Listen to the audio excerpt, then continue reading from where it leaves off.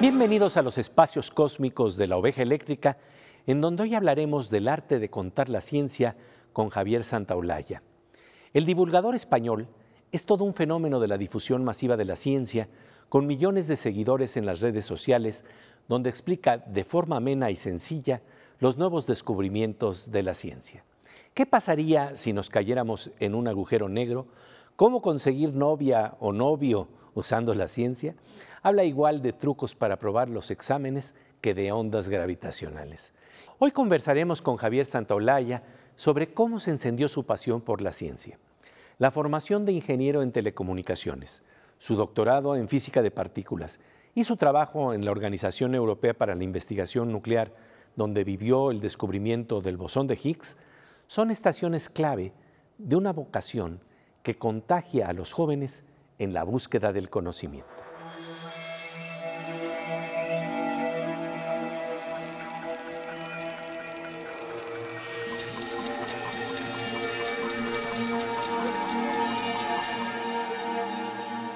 Pues querido Javier, nos da mucho gusto encontrarnos aquí en los escenarios cósmicos de la oveja eléctrica. Bienvenido. Un placer, verdaderamente inspirador y un honor para mí estar aquí.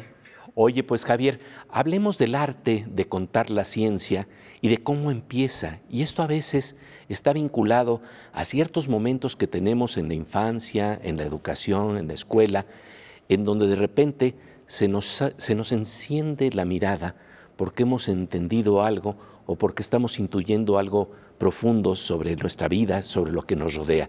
Hablemos de ese inicio en la curiosidad de la ciencia. Y qué bonito es, ¿verdad? Yo tengo recuerdos muy vívidos. Yo soy de Islas Canarias. ¿Ubicas? Sí, sí, claro. Y sabes, bueno, que es uno de los lugares con mejor cielo nocturno del mundo. Así es, para observar las estrellas de manera asombrosa.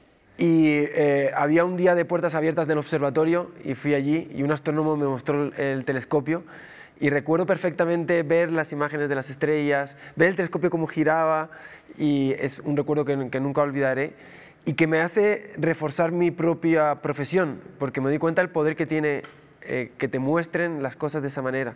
Y sobre narrativa, sobre historia, recuerdo un día, mi hermano, dormíamos juntos, yo siempre admiré mucho a mi hermano, lo sigo admirando, fue una persona muy inteligente y estas renacentistas, eh, no juegues con él al trivial. Bueno, tú sí, porque sabes mucho, pero yo no.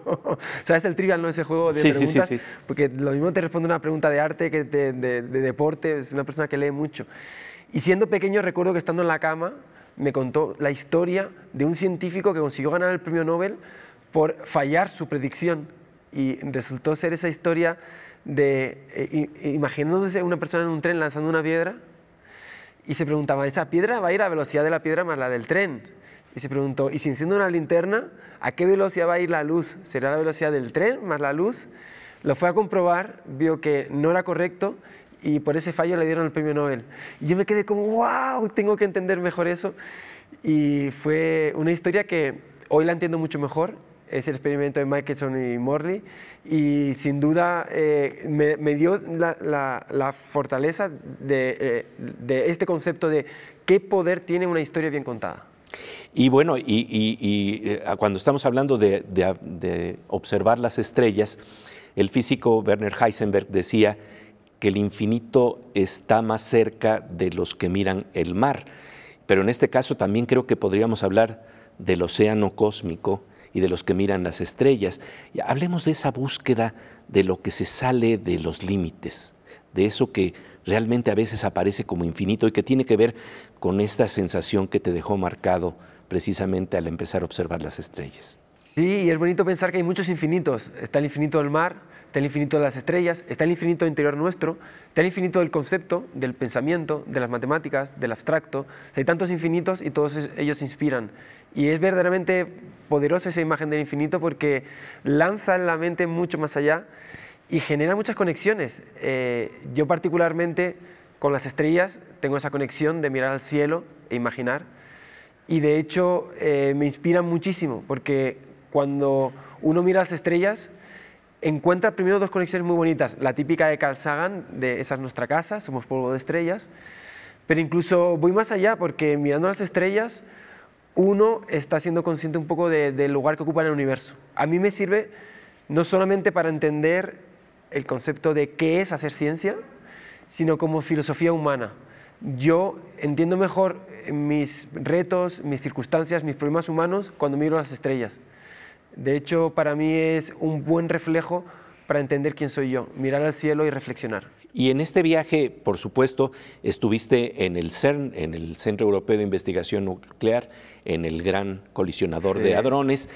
Y, hablemos entonces de, ese tránsito de encontrarte con eh, esta sorpresa y este asombro de explorar también el océano de lo pequeño, porque parece que no, pero las distancias abismales entre partículas nos hablan de otra forma de localizar esa sensación de infinito, no viendo las estrellas, sino jugando en el mundo de lo diminuto, del vacío tremendo que nos rodea. Hablemos de eso y luego del tránsito a la pasión por comunicar. Pues has dado con otra, otra de esas claves que he tenido en mi vida, otro de esos momentos de eureka que yo experimenté leyendo. Recuerdo perfectamente el libro, recuerdo perfectamente cómo fue. Eh, esa imagen de la serpiente que se mordía la cola, eh, Ouroboros, en un libro de física que, que se llama no recuerdo, El cosmos en la palma de la mano, de Manuel Lozano Leiva. Así es. ¿Lo conoces? Sí, sí, sí, él estuvo aquí en la oveja eléctrica. Ah, buenísimo, buenísimo. Sí. Pues en ese libro, precisamente, yo estaba en esa época que estaba descubriendo la física, pues yo la descubrí por los libros. En este libro él decía, eh, qué bonito cómo según exploramos escalas mayores, acabamos volviendo a lo pequeño. Y cómo para entender el Big Bang necesariamente tienes que entender las partículas. Y ahí me enamoré de las partículas. Las partículas eh, fueron para mí el punto de conexión con la física inicial, fue como digamos el flechazo auténtico con la física, por dos razones. Una, porque me dio la, concepción, yo como ingeniero y como persona anclada en la ciencia, el hecho de que hubiera un orden en la materia me resultaba muy satisfactorio. Y entender que había una clasificación de partículas muy pequeñas, esa, esa forma de entender el mundo como una compilación de elementos mínimos que dan estructura a la realidad, me pareció un pensamiento poderosísimo. Y por otro lado, cuando me di cuenta de cómo esa conexión que nos, nos, nos lleva de lo pequeño a lo grande, me pareció preciosa. Me enamoré de esa idea el asombro que se enciende en la mirada al asomarnos a lo inconcebiblemente pequeño y lo inconcebiblemente grande. Después del corte, seguiremos conversando con Javier Santaolalla en La Oveja Eléctrica. Mientras tanto, pasamos a una sección con nuestra querida compañera Aura López, que nos habla de investigaciones de vanguardia y proyectos vinculados al conocimiento que impulsa CONACIT hoy en día en nuestro país.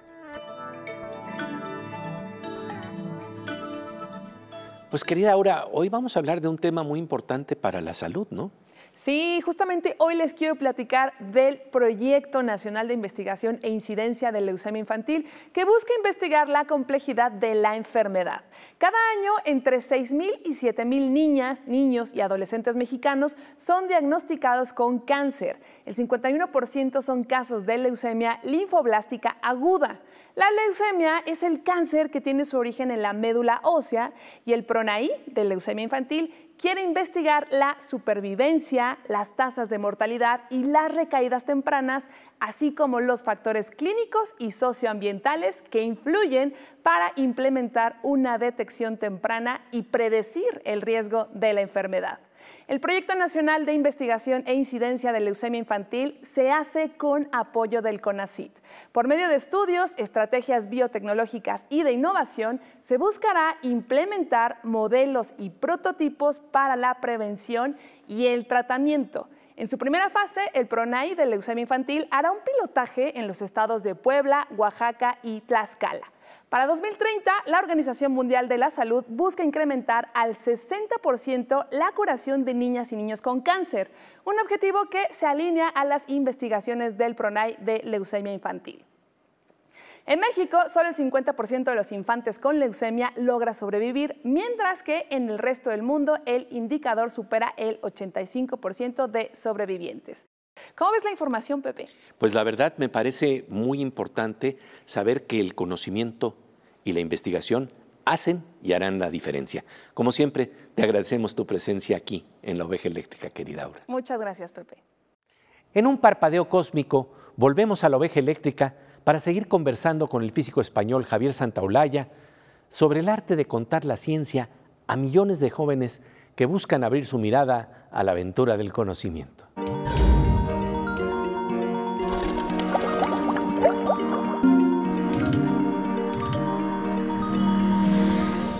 Como de rayo con tintes verdes y dorados que encienden nuestras miradas, estamos de regreso en los escenarios cósmicos de la oveja eléctrica, en donde estamos conversando con el físico Javier Santaolalla, quien es considerado el mayor divulgador científico español en la red. Javier llegó a tener más de dos millones de seguidores en sus canales de YouTube. Sin embargo, decidió cerrar sus espacios en esa plataforma para no quedarse en su zona de comodidad y ser fiel a su búsqueda de la emoción narrativa de la ciencia.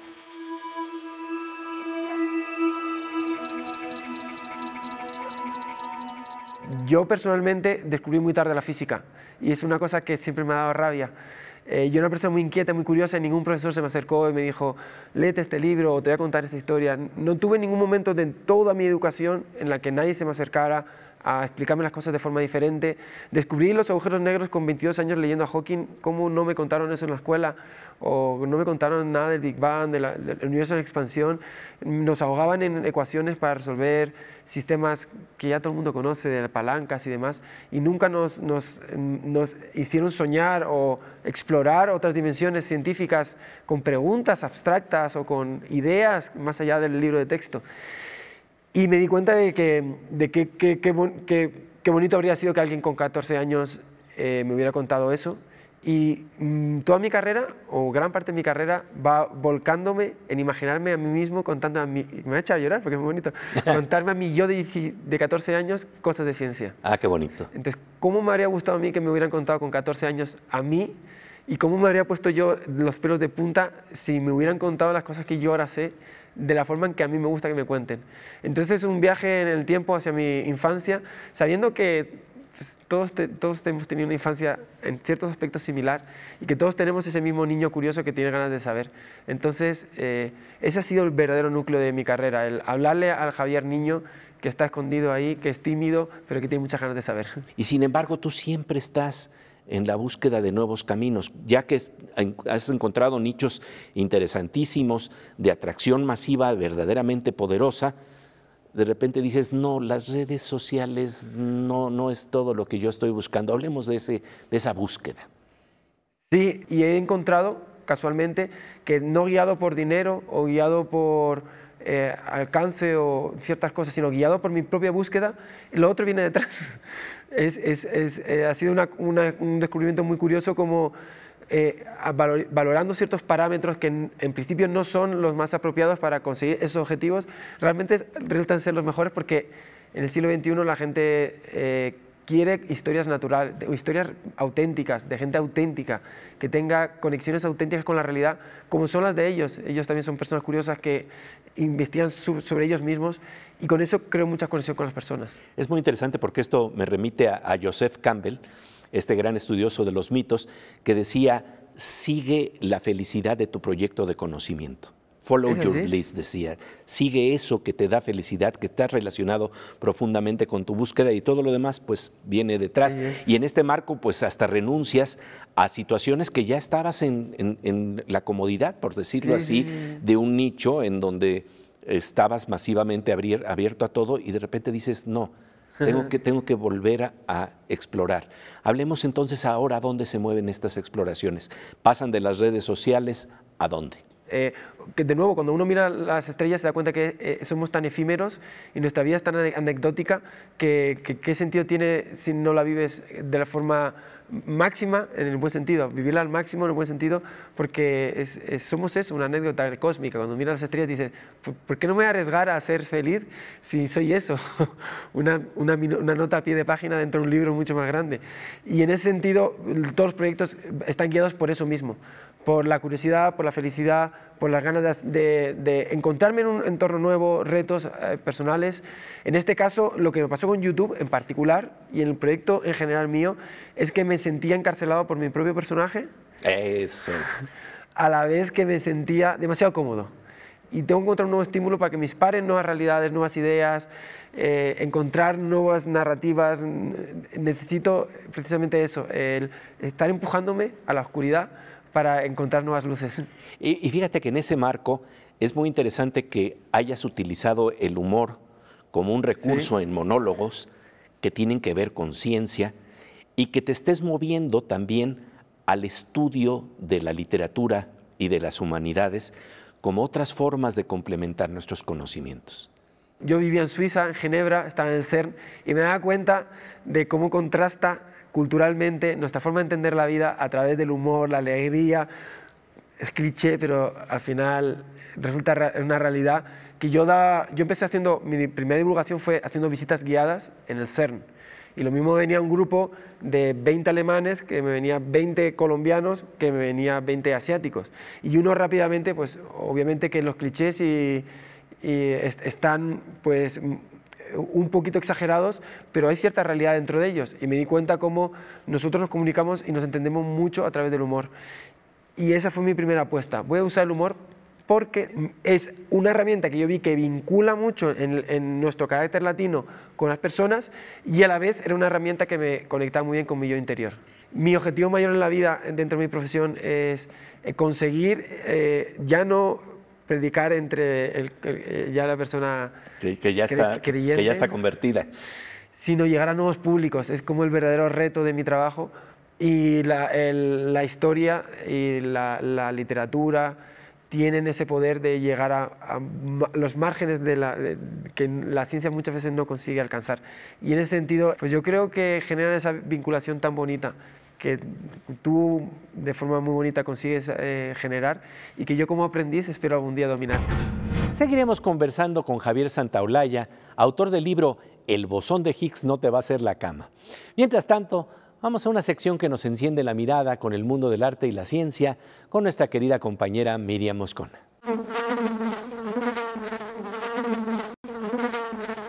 Querida Miriam Moscona, de nuevo un gusto encontrarnos aquí en Oveja Eléctrica para hablar de paisajes ocultos que están más a la mano de lo que nos imaginamos.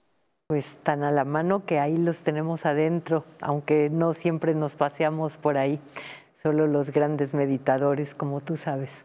Bueno, sí, en efecto, vamos a hablar de ciertos bosques, Pepe, pero no son los bosques noruegos de los Beatles, son eh, bosques eh, que pueden abrirnos eh, otras puertas de conocimiento y otras puertas de percepción. Ahí más que los Beatles estarían los Doors. Los Doors, sí, claro. lo cierto es que, bueno, tenemos adentro nuestro todo un mundo funcionando del que nos olvidamos, ¿cierto? Y de eso va nuestra colaboración del día de hoy. Un grupo interdisciplinario de físicos y biólogos ha desarrollado una nueva y revolucionaria técnica de microscopía que por primera vez permite obtener imágenes de todas las células dentro de un área determinada del tejido cerebral vivo. Su principal valor es que logra imágenes de todas las células vivas no etiquetadas en un área cerebral específica, cosa que hasta ahora era imposible. Este nuevo método permitirá mejorar la información que se obtiene y expandir el conocimiento de la biología del cerebro y avanzar en nuestro conocimiento de las funciones cerebrales. Ahora vale la pena internarse por este bosque de ramificaciones, raíces y frutos que producen un encantamiento. Parece el interior del planeta al que llegó el principito de Saint-Exupéry. Esta imagen nos permite hablar de cómo nuestros cerebros calculan. Nuestros cerebros son ordenadores que funcionan usando un sistema de células llamadas neuronas y que intercambian información usando señales químicas y eléctricas. Los investigadores han descubierto que ciertas células en la corteza cerebral humana transmiten señales de una manera que no se ve en las correspondientes células de otras especies. Y que no le digan, que no le cuenten, los cerebros humanos tienen una corteza gruesa, especialmente la segunda y tercera capas de la superficie. Estas capas contienen células cerebrales con muchas ramas, llamadas dendritas, que las conectan e intercambian información con otras células cerebrales. Transmiten información mientras que imágenes del cerebro, vistas al microscopio, transmiten belleza. Hasta la oveja quiere internarse por esos bosques. Arte y ciencia en la mirada encendida de Miriam Moscona.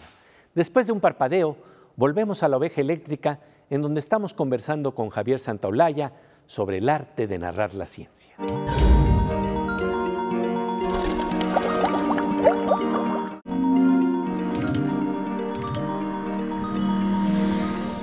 Como de rayo con tintes verdes y dorados que ilumina el océano del conocimiento, estamos de regreso en La Oveja Eléctrica, en donde estamos conversando con Javier Santaolalla sobre su búsqueda de conocimiento, su búsqueda por compartir miradas que se encienden con nuevos horizontes.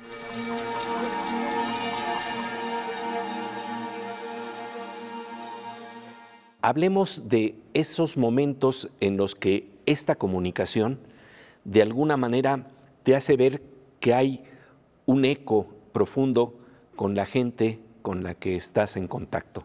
Creo que no hay nada, decía Elie Wiesel, un gran eh, escritor, que no hay un momento más importante en la educación que ese momento invisible pero real, en el que se enciende la mirada de una niña o de un niño porque ha entendido algo o porque ha captado un trozo de belleza.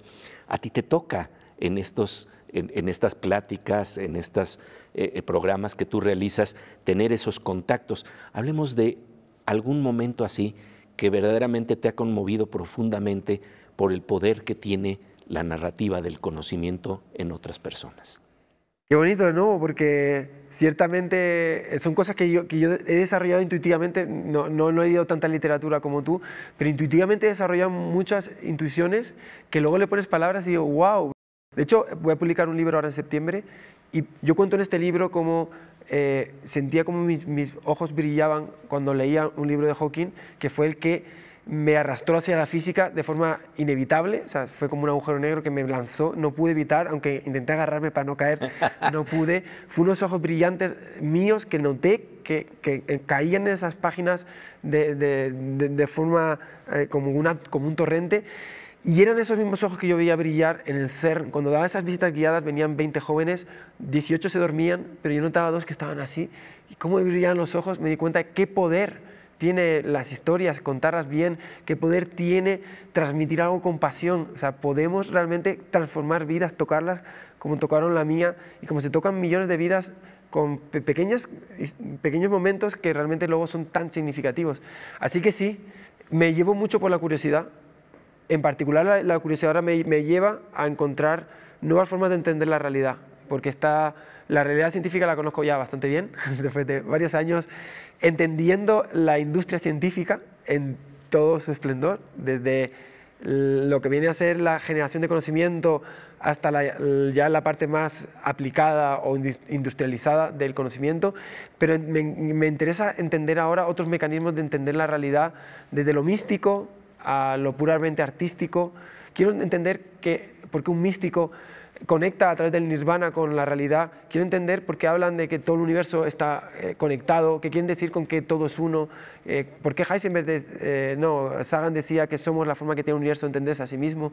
Necesito explorar esas vías que dentro de las ecuaciones muchas veces no, no hay cabida y que, y que hacen que la, la propia experiencia de la realidad sea mucho más rica. Entonces, Curiosamente voy a recorrer esos caminos o pretendo recorrerlos y creo que recorriéndolos yo, pues generalmente he descubierto que, que, consigo eh, generar esa... Somos legión. Es, es, es, exacto. O sea, creo que, creo que una, una, una, constante en mi trabajo es, soy un curioso que da palos a intentar entender alrededor y me doy cuenta de que al hacer así, mucha gente empieza a hacer así y juntos, eh, o sea, no me siento tanto como, como un predicador o como como un vocero, sino como una persona más de un colectivo que, a lo mejor consigue a través de sus movimientos de manos contagiar esos mismos movimientos. Compartir los sueños de la tribu. querido, querido Javier, de verdad te agradecemos muchísimo tu presencia y tu viaje de asombro del niño que todavía llevas por dentro. Muchísimas gracias por tu presencia. Se trata de compartir los sueños de la tribu. La búsqueda de nuestro querido Javier Santaolalla por compartir nuevos horizontes no para. En estos días desarrolla proyectos como Amautas, en donde explora la aventura del conocimiento en cursos con especialistas en diversos campos de la ciencia, desde la biodiversidad marina y el cambio climático hasta la neurociencia, las células madre y los agujeros negros. Un gusto la presencia de Javier Santaolalla, un sincero buscador de conocimiento aquí en la oveja eléctrica. Y bueno, y ahora pasamos a una sección con otro gran buscador de conocimiento, al grado de que le canta con alegría y pasión. Estamos hablando de nuestro querido Fernando Rivera Calderón.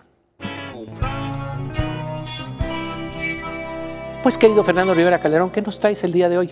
Pues estoy, estoy muy enojado con la ciencia, Pepe, porque sí, nos explica todo, pero hay explicaciones que ni al caso. Por ejemplo, cuando nos explica cómo dos objetos enamorados se atraen por la fuerza de gravedad y el impulso, y de repente chocan y se rompen todo, incluido el corazón. Y eso no se vale, ni aunque lo diga la ciencia, Pepe. No te pongas así, te voy a cantar una canción. Ok, ok. Ya te estoy poniendo triste, me llena. La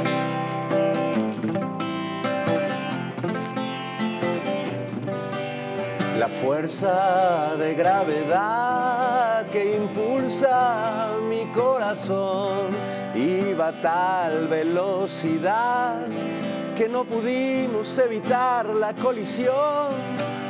Chocamos por las leyes de Newton y nos rompimos, maldito Newton. Hoy las cosas han perdido su color. Es la ciencia que transforma el amor en el dolor. Au.